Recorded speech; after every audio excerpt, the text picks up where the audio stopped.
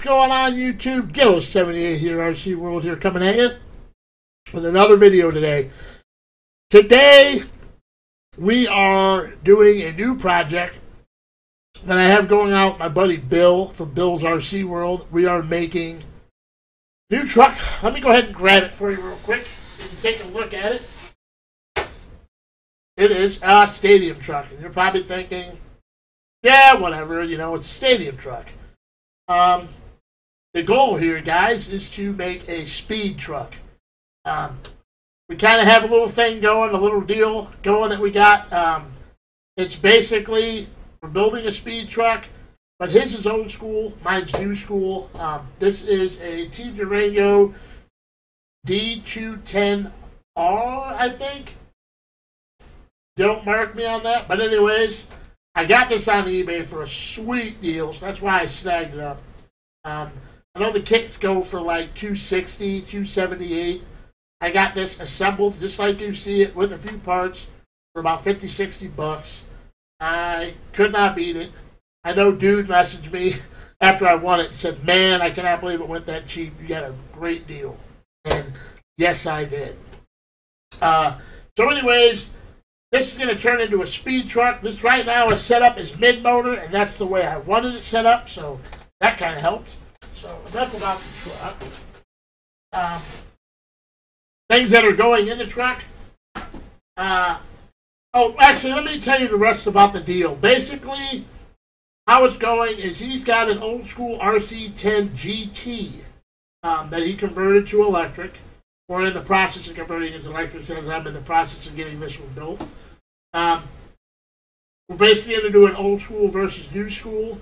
We're going to set the truck up gear ratio the best that we can, knowing that his is kind of older, um, to kind of get it matched up just to see what they're going to do with the same run. We're running the same ESC.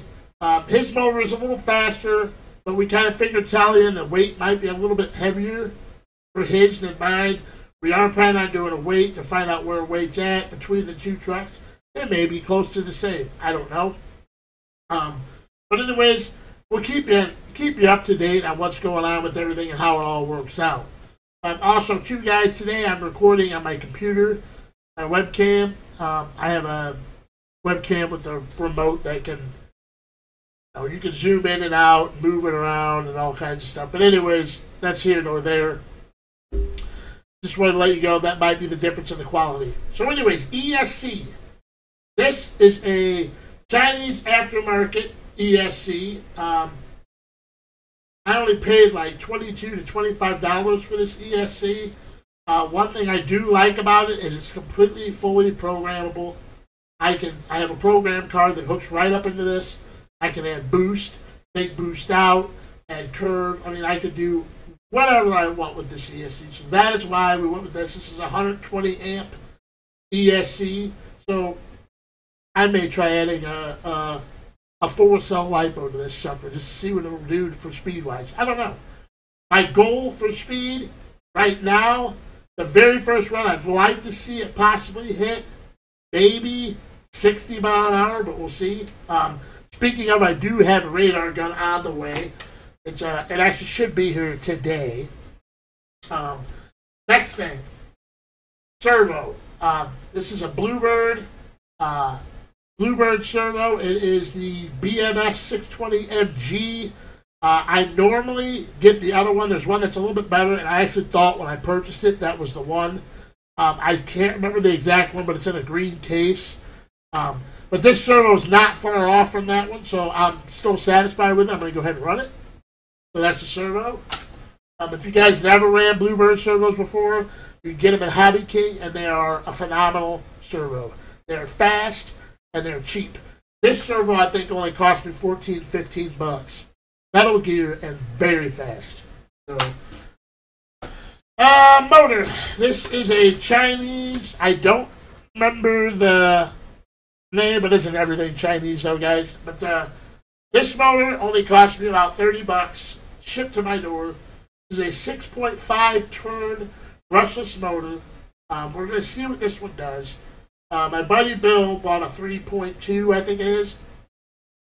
And if, if his runs a little bit better than mine, I may upgrade to that motor. But for now, we are going to try this one and see where this one takes us. So hopefully, it takes us to very fast speeds. Uh, speaking of speeds, record speed I'd like to see the truck eventually hit is maybe like 100.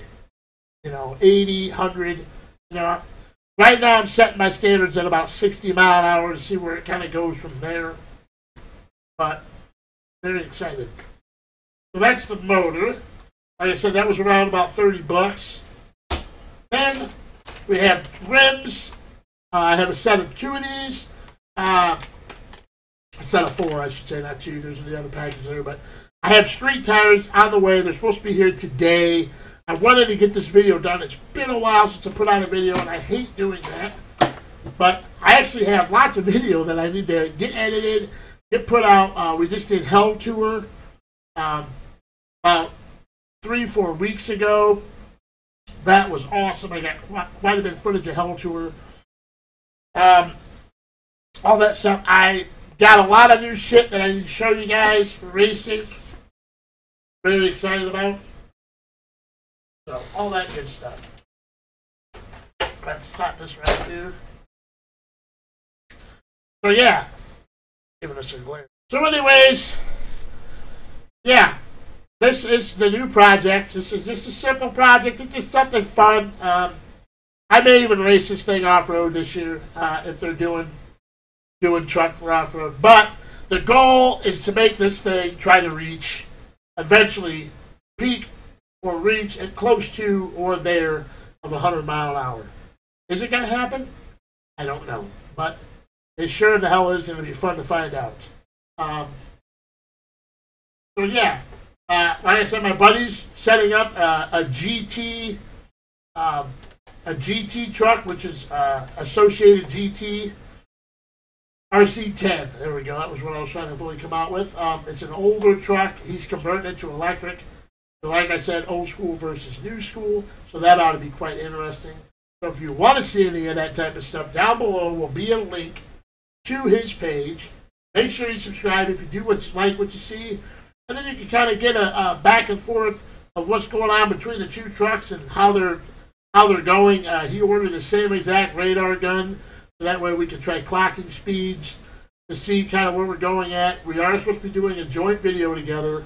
Um, we do live about an hour apart from each other now, so we don't get to get together quite as often as we'd like to to uh, do videos and joint videos and stuff. So as soon as we can get a joint video, we're supposed to be weighing both the trucks as they're completed um, and all that good, wonderful jive stuff.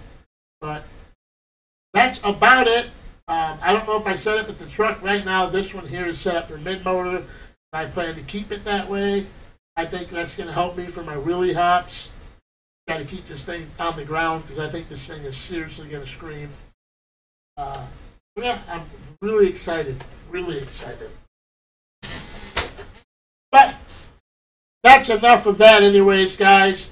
I just wanted to uh, shout a quick little video out, let you guys know what was going on, and uh, hopefully we get this truck up and going soon and we get some screaming videos of this thing hauling ass down the street. Uh, get some great speeds, but anyways, guys, thanks so much for sticking around and watching the video. And uh, if you like what you see, make sure you hit the thumbs up button. Uh, make sure you subscribe if you haven't done so already. And that's about it for right now. But be be stay tuned for more videos to come. Lots of new vehicles that I purchased and got, and set, setting up for some for oval, some for off road. Uh, yes, I did get back into racing, so it did happen, and I and I knew it would. But anyways, guys, that is it. Thanks for coming out checking it out. We'll talk to y'all later. Peace.